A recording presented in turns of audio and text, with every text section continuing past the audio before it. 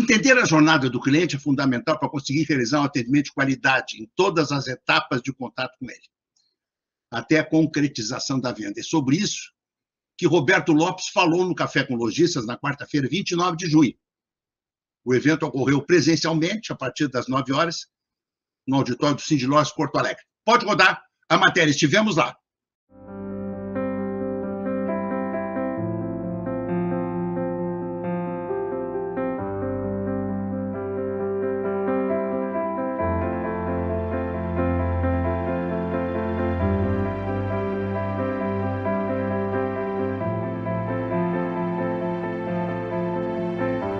Palestrante do Café com Lojistas aqui no de Lojas.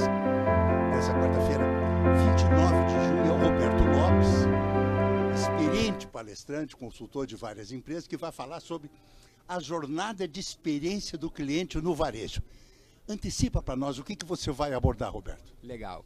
Hoje em dia, cada vez mais, a gente tem que entender que durante muito tempo os negócios acabavam se comunicando de uma maneira muito unilateral em relação aos negócios. Né? Eram as grandes marcas dizendo o que gostariam de vender, o que gostavam de vender, como faziam essas vendas, as respectivas abordagens. Uhum. E a gente está vendo uma inversão cada vez maior nessa lógica.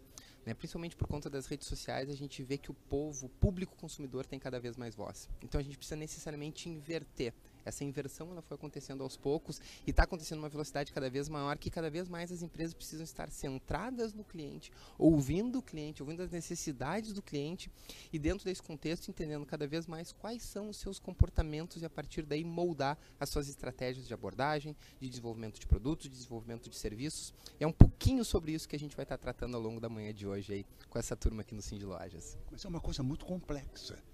Como é que uma pequena loja do varejo concebe, consegue implementar toda uma visão estratégica dessas?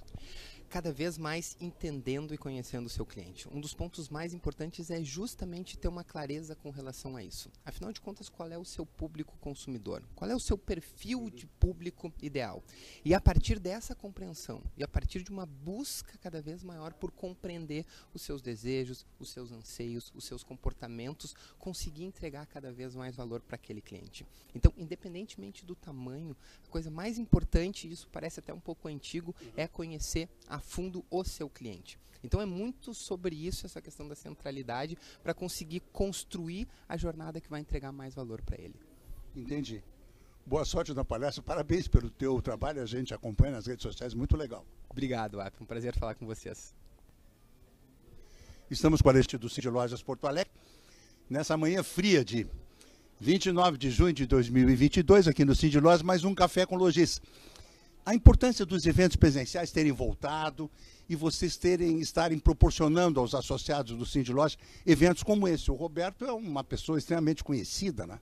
É isso mesmo. Olha, evento presencial para nós, ele é, o, o, varejo vive né, das questões presenciais. Claro que tem as questões de tecnologia e tudo, mas o presencial é super importante. Então, por isso nós estamos voltando com, com esses eventos. É, para o lojista foi um grande desafio essa, esse momento de, de estar fechado, porque o, o mercado acabou, as pessoas adquirindo as coisas via internet. E agora, com a abertura, há uma mudança muito grande. As pessoas estão indo atrás dos produtos nas lojas, buscando a questão do contato com o produto. E isso muda a forma de atendimento. E com certeza o Roberto Lopes vai trazer para nós muito da experiência dele e do que, que os lojistas precisam nesse momento para vender mais. Né? Vocês que estão sempre em contato com lojistas aqui, isso aqui é o centro dos lojistas do Rio Grande do Sul. Como é que estão as vendas nesse inverno? Olha, as vendas aumentaram muito, né? tinha muita coisa represada, né? o comércio está se adaptando a isso, o frio acabou chegando num período um pouquinho, se antecipou, e isso dá uma quebra pequena de estoque, mas já estão se recompondo esses estoques, se repondo, e isso, com certeza, é uma, coisa, uma notícia muito boa para o mercado. Os números das nossas pesquisas de, de compra no, no, Dia das Mães, Dia dos Namorados, sempre foram com números de evolução bem importante. E vai ser uma, uma coisa muito boa, né? É verdade. Nessa época vende mais aquecedores, esse tipo de coisa, ou é mais roupa? Olha, os blusões, casacos vieram com tudo, né? E sem dúvida os aquecedores em segundo aí. É verdade. Uma alegria rever o bom evento. Muito obrigado, obrigado pela presença de vocês aqui.